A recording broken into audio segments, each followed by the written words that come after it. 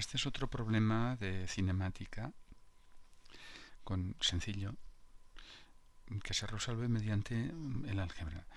Se puede resolver mediante el álgebra, aunque se puede resolver también de una manera muy sencilla, porque, bueno, vamos a leerlo primero. Dice, un, un autocar sale de una ciudad a 80 kilómetros por hora. Y una hora más tarde sale una de la misma ciudad una motocicleta a 120 kilómetros por hora.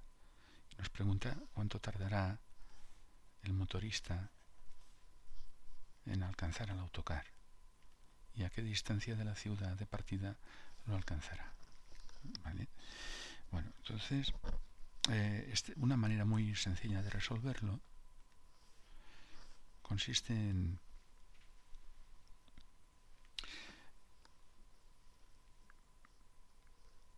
imaginar que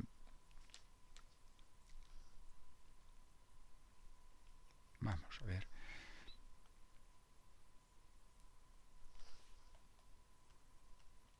Que me estoy repensando un poco la manera esta manera sencilla de vamos a vamos a hacerlo de una manera convencional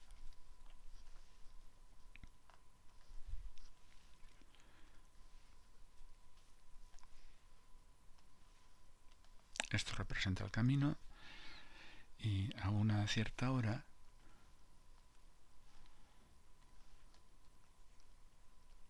sale el autocar que va a 80 kilómetros por hora. Y al cabo de un cierto tiempo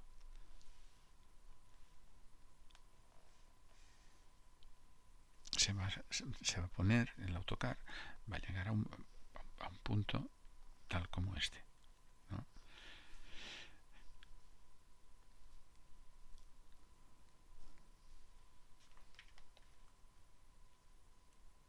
Aquí está el autocar, circulando a 80 kilómetros por hora.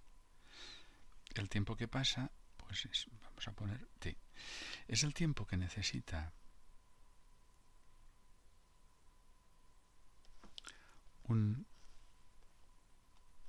una moto que va más rápida y que sale una hora más tarde. Esta moto va a 120 mm, kilómetros por hora.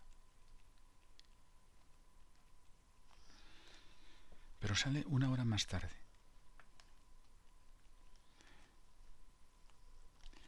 Es decir, si el, tiempo que necesita el autobús para llegar a este punto que es donde además se produce el alcance. Ahí se produce el alcance de la motocicleta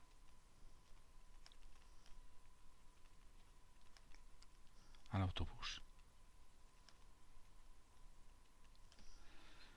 Bueno, pues entonces la, la longitud de camino que recorre la motocicleta es 120 por no t unidades de tiempo, sino que son t menos una unidades de tiempo, porque ha salido una hora antes, es decir, una hora después, perdón, más una hora, con relación a t, después de t, después de, del autobús. O sea, lleva una ventaja de una, de una hora el autobús. Esa, esa longitud de camino que recorren los dos, ¿no? Son las mismas, es la misma. Tiene que ser también igual al camino recorrido por el autobús. 80 por t. Y entonces, resolviendo esta ecuación, pues podremos saber el tiempo que ha transcurrido hasta que se da alcance, hasta que la motocicleta da alcance al autobús. Aquí ponemos 80 por t y el 120 lo pasamos al segundo miembro. Esto es 40 por t y esto es 120. Dividiendo entre 40 en los dos miembros despejamos la t y nos da tres horas. Bueno, pues ya tenemos contestada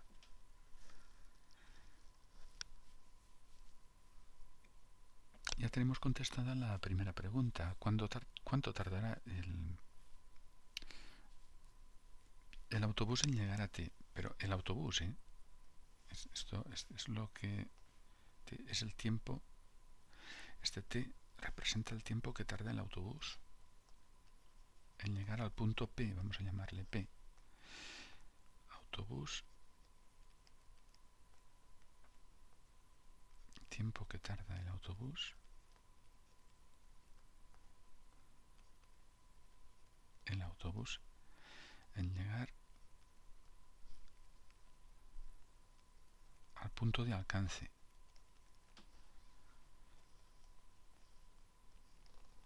Esto. Tres horas. Entonces, el tiempo que tarda el, el motorista, ¿cuánto tarda? Pues una hora menos. Este menos uno, luego como T es 3, es 3 menos 1, son dos horas. Esto es lo que nos pide. ¿Cuánto tiempo tarda el motorista, eh? no, no el autobús, en alcanzar el autocar? Pues las respuestas son dos horas. este valor de t es el tiempo que tarda el autobús en llegar al punto en que el, motorista le da alcance. Claro, pues son una hora más. En realidad, lo primero que hemos hecho es calcular el tiempo que tarda el autobús en llegar al punto de alcance y luego le hemos restado una hora para calcular el tiempo que tarda el, el motorista en llegar a ese punto. Dos horas.